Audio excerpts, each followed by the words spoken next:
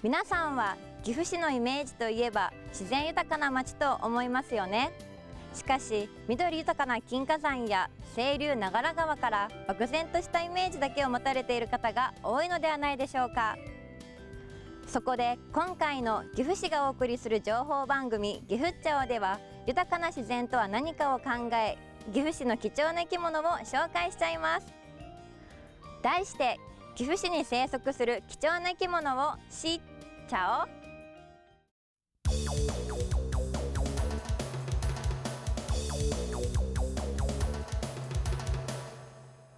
お岐阜町ここ岐阜市は長良川や金華山に代表される水と緑に恵まれた豊かな自然環境の恩恵を受け岐阜県の県都として発展してきました私たちは自然環境が人間生存の基盤であり市民共有の財産であることを認識し多様な生き物が生息または生育する生物多様性を存続させなければなりません。そこで岐阜市では環境都市宣言の環境と調和する人に優しい都市岐阜を目指すため岐阜市自然環境の保全に関する条例を制定しています。この条例では自然環境の保全や自然環境の創造市民との共同などの項目において自然と共生するまちづくりを推進するために必要な事項が定められています。またこの岐阜市自然環境の保全に関する条例により岐阜市の貴重野生動植物種が指定され許可なく捕獲などをすることが禁止されています。その指定された貴重野生動植物種がこちらの3種なのですが皆さんは見たり聞いたりしたことがありますか？これらの貴重野生動植物種を守るためには市と市民また自然環境保全活動団体や事業者が共同して行動する必要があります。そこで今からはその気になる貴重野生動植物種と保全活動を行っている現場を見に行きたいと思います。最初にやってきたのは岐阜高校。こちらでは大和山椒魚の保全活動や観察研究などを行っているそうですよ。こんにちは。こんにちは。皆さんはどんなグループなんですか？はい岐阜高校自然科学部生物班です。皆さんは日頃どんな活動を行っているのですか？日頃は実験室で飼育している生き物の世話と研究を行っています。山椒班魚班昆虫班の3つのグループに分かれて活動しています。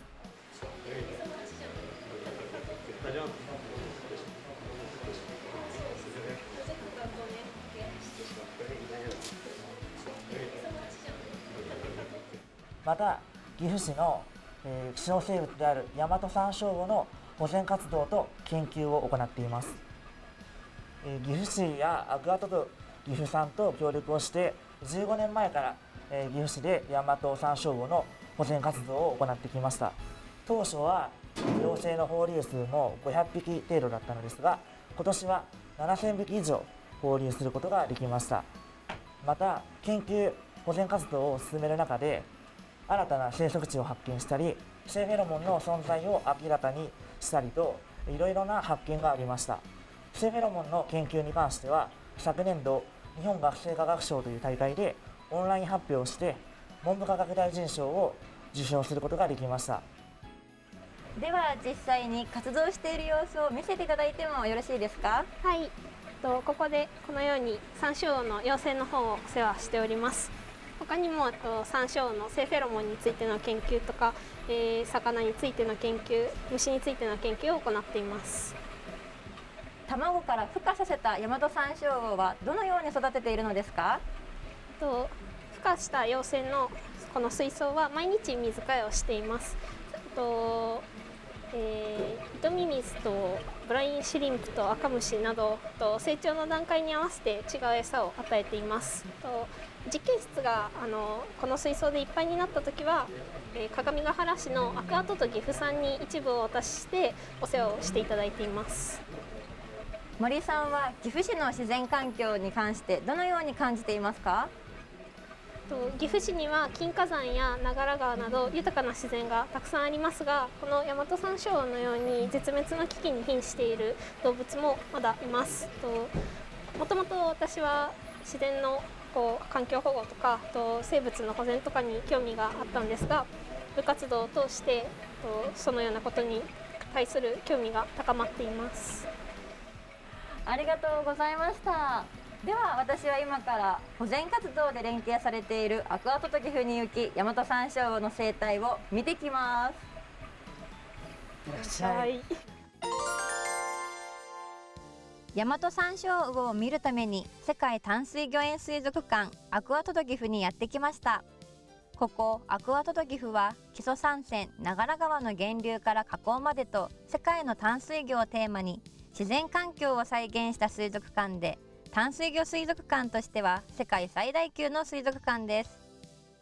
こんにちは。こんにちは。今日は岐阜市の貴重野生動植物史を学んでいてこちらにその中の大和山椒魚がいると聞いてお邪魔したのですが見ることができますか？はい、えー展示しております。それではご案内しますので、どうぞ。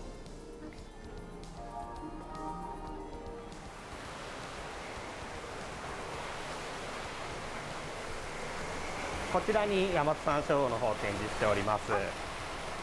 思ったよりも小さいですね。そうですね、十数センチぐらいですね。でも顔がクリッとして可愛いです。はい、えー、大和山椒魚はですね、あのー岐阜市のレッドリスト、えーそれから岐阜県のレッドリストでも絶滅危惧一類に指定されている絶滅危惧種になります。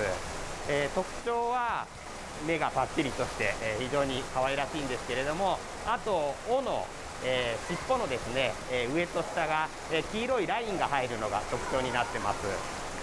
で、えっと卵を産む場所なんですがあの山の近くの水たまりとか湿地で、え卵を産むんですけれども、まあ、そういった環境が今あのどんどん減っていて数が非常に少なくなっています。こちらでは岐阜高校の生徒さんたちと大和山椒魚の保全活動について連携しているとお聞きしたんですがはい、えーアクアトと岐阜では、えー岐阜高校や岐阜大学、えー岐阜市役所と、えー連携して大和山椒魚の保護を、えー行っております。えー今年もですねもう放流したんですけれども、えー2000匹程度の、えー幼生の方を保護しております。そうなんですね皆さんも貴重な大和山椒魚をぜひ見てみてくださいね。ここアクアトト岐阜では他にどんな生き物が見られるのですか？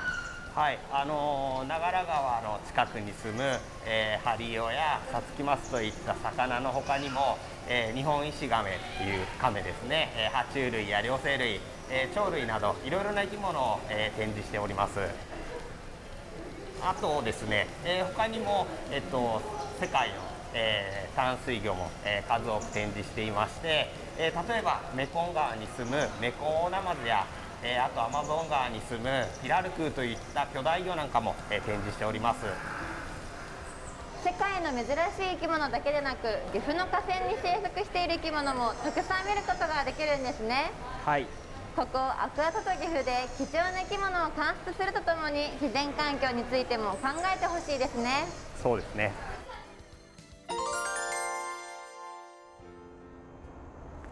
続いては姫子骨を見に立木原にやってきました。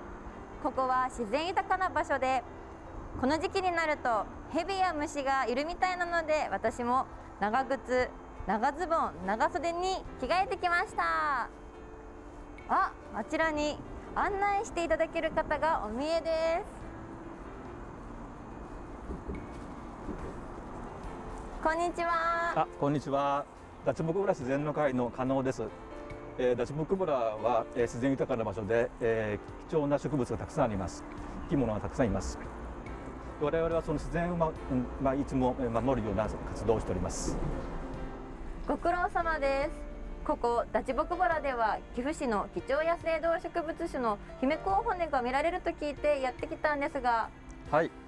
えーこの目の前にある黄色い花が姫コウホネの花です。はい。姫コウホネは、えー絶滅が心配されるあの植物なんですが、はい、えー水田科の植物で地下茎で増えるんですね。うんで地下茎を掘り出すと動物の骨みたいに白くてゴツゴツしてるんです。で川にある骨ということで